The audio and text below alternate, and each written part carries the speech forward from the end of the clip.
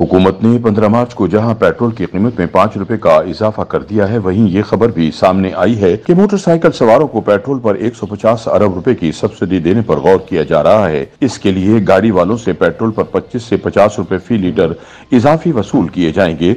एक अंग्रेज़ी रोजनामे की खबर के मुताबिक वज़ीर आज़म शहबाज शरीफ मोटरसाइकिल सवारों के लिए पेट्रोल सस्ता करने के लिए चार पहियों के सवारों पर एक नया बोझ डालने का मंसूबा बना रहे हैं।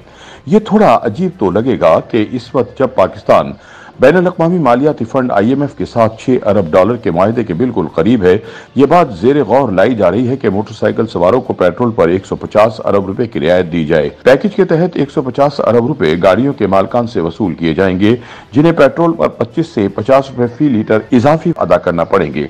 अखबार ने अपने जराये के हवाले से बताया कि गाड़ियों के मालकान के लिए पेट्रोल की कीमत 300 से 325 रुपए फ़ी लीटर करने की तजवीज है, जबकि मोटरसाइकिल सवारों के लिए इसे कम करके 250 रुपए से 225 रुपए फ़ी लीटर करने की तजवीज है। ये तजवीज एक ऐसे वक्त में सामने आई जब State Bank of Pakistan S B P और वजारत खजाना नए पैकेज के उसूल के लिए आई एम एफ़ की शराइ पूरी करने में मसरूफ हैं। माली मुश्किल और आई एम एफ़ के मुतालबात के बावजूद हुकूमत अब भी निचले और मुतवसत तबके के लोगों को रिलीफ देने के लिए सब्सिडी फराहम करने की ख्वाह है। आई एम एफ़ वफद ने गुजशत माह पाकिस्तान को मुतालबात की एक लंबी फहरिस्त दी थी। आई एम एफ़ की शराइ का मकसद ये यकीनी बनाना है कि पाकिस्तान जून के आस पास अपने सालाना बजट से कबल माली खसारे को कम करे।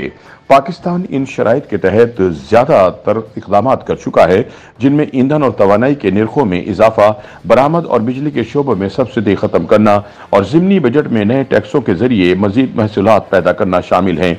इन्हीं इकदाम के पेश नज़र हुकूमत ने गुजशत रोज महँगाई से पिसे अवाम पर एक और पेट्रोल बम गिरा दिया और पेट्रोल पाँच रुपए हाई स्पीड डीजल तेरह रुपए और मिट्टी का तेल तकरीबन ढाई रुपए महँगा कर दिया गया है। पेट्रोल की नई कीमत दो सौ बहत्तर रुपए फ़ी लीटर होगी।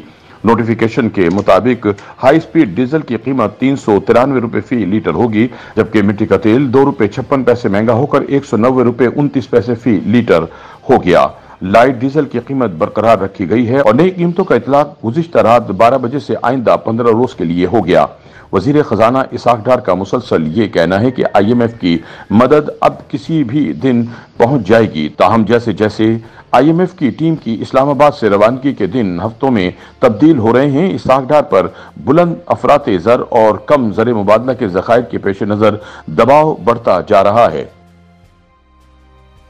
YouTube पर गूगली न्यूज़ देखने के लिए YouTube.com की सर्च बार में गूगली न्यूज़ टीवी टाइप करें। गूगली न्यूज़ के पेज पर सुर्ख रंग के सब्सक्रिप्शन वाले बटन पर क्लिक करना ना भूलिए। YouTube पेज पर अपलोड होने वाली वीडियो से बाखबर रहने के लिए बेल आइकन पर क्लिक कीजिए। आपको हर नई वीडियो के बारे में नोटिफिकेशन मौसू हो जाएगा।